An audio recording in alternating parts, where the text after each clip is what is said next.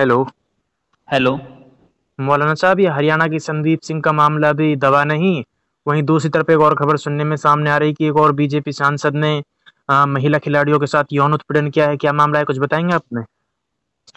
जी ये मामला बुधवार को सामने आया है जब विनेश फोगाट जो एक महिला पहलवान है उन्होंने बीजेपी सांसद ब्रिजभूषण शरण सिंह के ताल्लुक से जो शिकायत की है कि पिछले कई सालों से वो महिलाओं का यौन शोषण कर रहे हैं। जी जी। ब्रजभूषण शरण सिंह जो बीजेपी सांसद है साथ में रेसलिंग फेडरेशन ऑफ़ इंडिया यानी डब्ल्यू एफ़ आई के अध्यक्ष भी हैं। जी। तो उनके ऊपर बड़े ही सीरियस एलिगेशन लगे हैं कि पिछले कई सालों से वो महिला पहलवानों का यौन शोषण कर रहे थे। जी। तो इस ताल्लुक से जो मामला है वो काफ़ी गर्मा गया है। जंतर मंतर पर जो महिला पहलवान हैं जिनमें काफ़ी बड़े बड़े नाम हैं उन सबने धरना प्रदर्शन शुरू कर दिया है। जी। और इस वक्त की ये बहुत बड़ी खबर है। जी। तमाम न्यूज़ चैनल्स इस ताल्लुक से चर्चा कर रहे हैं उन पर डिबेट्स हो रही है टॉक शो हो रहे हैं क्योंकि ये मामला इतना बड़ा है कि टॉप मोस्ट जो महिला पहलवान हैं जो। फीमेल हैं रेसलर जिन्होंने देश का नाम ऊँचा किया है और विदेशों में जाकर उन्होंने बड़े बड़े इनाम और पुरस्कार हासिल किए हैं। उनके साथ ये यौन उत्पीड़न का मामला पेश आया है। जी। इसमें विनेश फोगाट ने जो शिकायत दर्ज कराई है इसको गृह मंत्रालय यानी स्पोर्ट मिनिस्ट्री ने बड़ी गंभीरता से लिया है क्योंकि ये महिलाओं के ताल्लुक से पूरा मामला है। जी।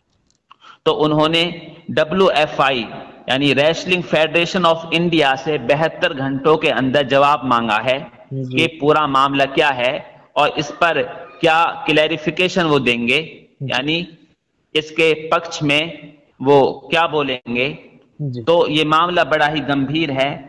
क्योंकि इसमें एक बार फिर से बीजेपी सांसद ब्रिजभूषण शरण सिंह त्रिपाठी फंसते हुए नज़र आ रहे हैं। जी।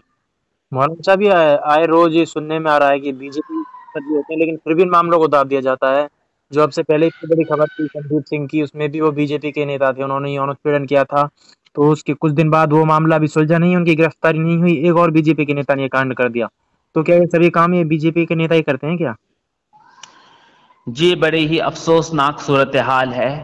और इसमें तो साफ़ तौर से बीजेपी के दो बड़े मंत्री जिनके नाम सामने आए हैं क्योंकि संदीप सिंह का मामला वो किसी तरह से सुलझा तो है नहीं बल्कि उसको दबाने की कोशिश की जा रही है। जी। वो मामला पूरी तरीके से ठंडा पड़ गया है।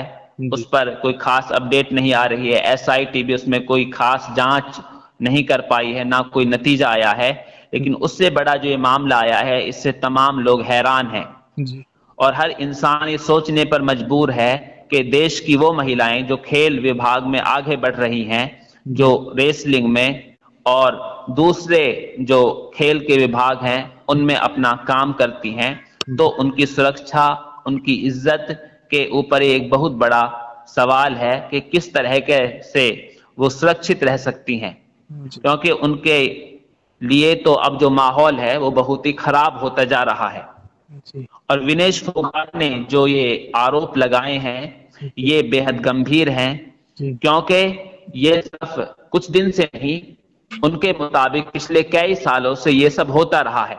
क्योंकि आमतौर से महिलाएँ जब तमाम हदें और लिमिट क्रॉस हो जाती हैं तब जाकर वो कहीं आवाज़ उठाती हैं वरना खुद उनको भी अपनी बदनामी का और अपनी इज़्ज़त के ऊपर आँच आने का डर होता है।